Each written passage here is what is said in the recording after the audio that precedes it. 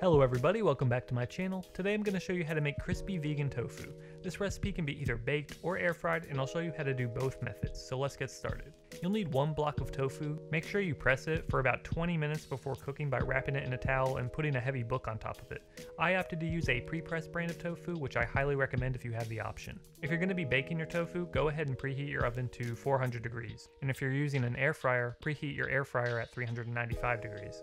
In a large mixing bowl, mix in one and a half tablespoons of extra virgin olive oil, a half a teaspoon of dill weed, a half a teaspoon of red pepper, which is optional if you want your tofu to be spicy, if not, just leave it out, a fourth teaspoon of black pepper, one teaspoon of sesame oil, a teaspoon of garlic powder, and two tablespoons of soy sauce. Mix all of your ingredients together except the tofu. Cut your tofu into cubes. The smaller you make it, the crispier they'll get. Toss your cube tofu into the mixture and make sure you get all the pieces of tofu coated evenly.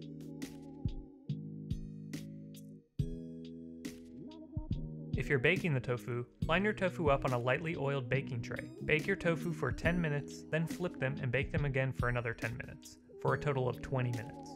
If you're air frying your tofu, throw it in the air fryer and cook for about 15 to 20 minutes. Make sure you check on your tofu periodically and shake up your frying tray so it cooks evenly on all sides. And there you go.